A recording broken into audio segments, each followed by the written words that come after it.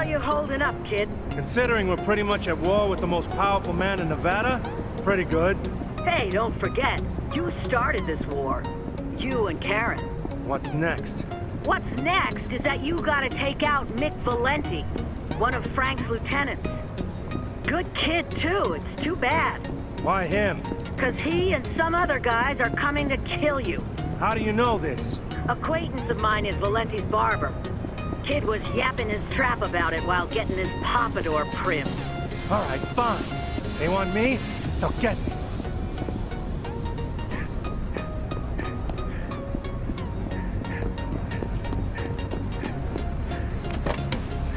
It's kill or be killed by Dirty Sweet.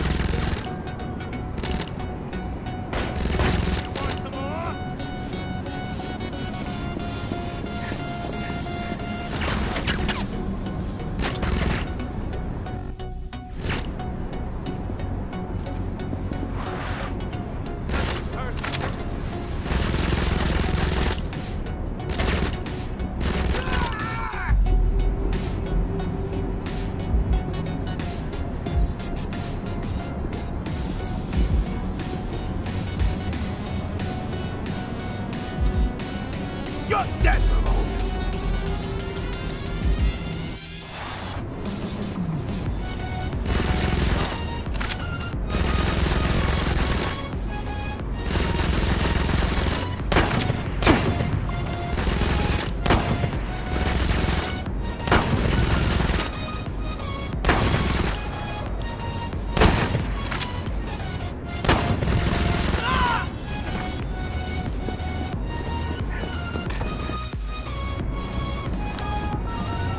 Vera, Mick won't be going to your barber friend anymore.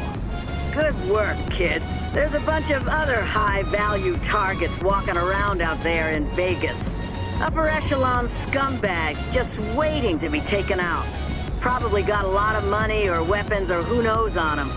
Be the one to take them out, and what's theirs is yours. I'll keep that in mind. You do that. And, uh, kid, glad you're not dead. Thanks.